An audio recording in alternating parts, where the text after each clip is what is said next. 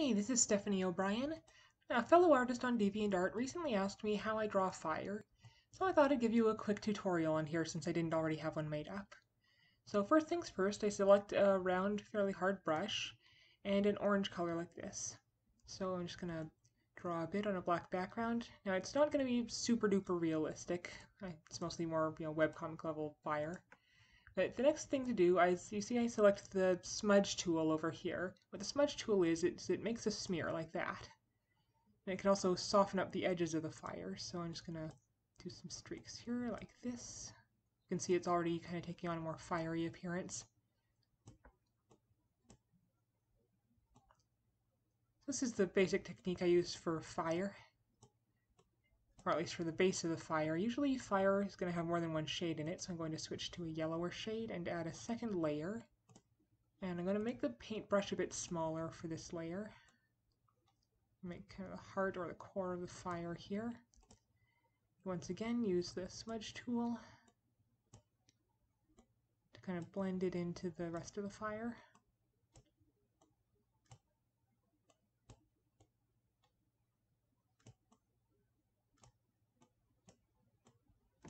Now if you want to go further, you can always you know, make additional layers, make it even brighter in the center.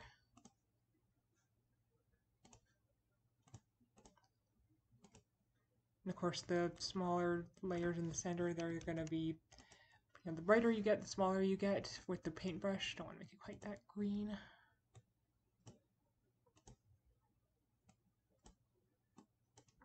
I'm going to that smudge tool a little bit smaller because it's making the streaks too big for this layer.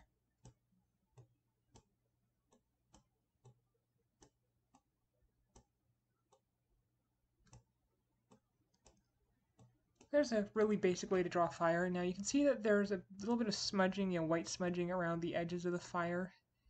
It's one of the problems with Photoshop's smear tool. It kind of tries to blend, tries a little too hard to blend it in with the background color and makes it intermediate color in the background. So um, one thing to note, it, how big you make these streaks will kind of depend on the speed of the fire. Like this is just kind of a fire that's sitting there. It's not really strongly affected by wind or anything. So let's say you've got a fire that's got some momentum. It's say it's a fireball that's being thrown. So I'm going to just blend these layers together by hitting merge down.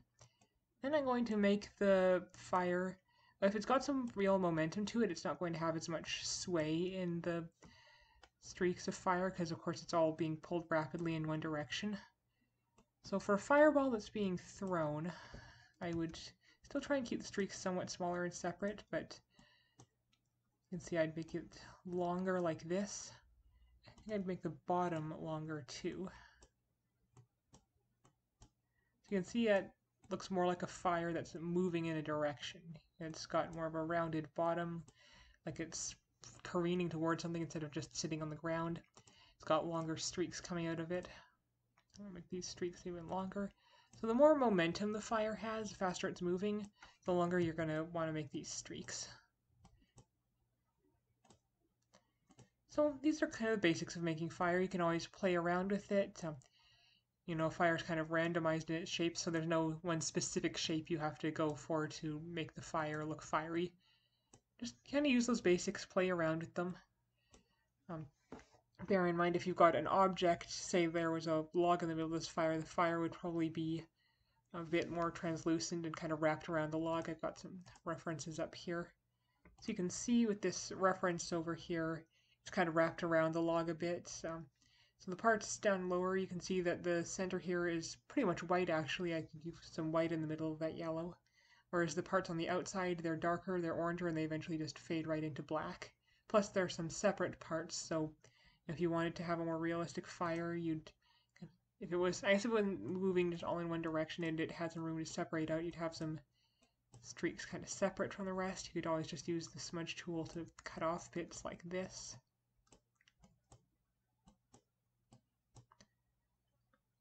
And of course, you could always add smoke. You could add um, billowing smoke. Just add some here. Add a layer underneath the fire. Oops, not too light.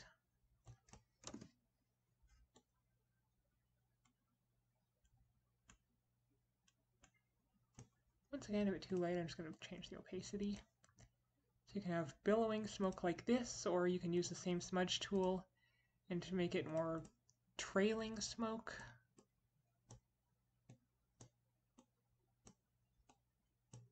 You could add uh, wind direction to it if you if the fire is if the wind is blowing in a certain direction, have the smoke kind of trail away like this. So I hope that gives you a basic idea of how to draw fire. If you have any questions, feel free to ask. I know it's not super duper realistic fire, but I, I mostly draw for a webcomic, so a lot of my drawing isn't super realistic. If it was more realistic, I should be probably adding some more white in the middle, like in the reference photos. I generally recommend actually making each new layer of the fire separate, just in case you screw up and you don't like what you drew and you want to fiddle with it without ruining what you've already done for the fire. But once you've pretty much got the um, general shape of it right, or you want to, you know, transform the fire in a more coherent way, you know, transform all the fire at once instead of having to do it layer by layer, then you would want to merge down. And in Photoshop, if you want to merge down, you would use Control E.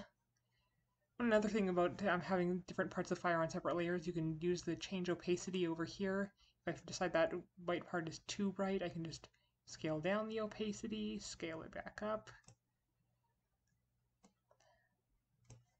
So those are a couple ways to play with it. You can also move that part independently. I decided it's too high up in the fire, just move it down a bit before and after. So there you go. There's my basic fire tutorial. Hope that was helpful.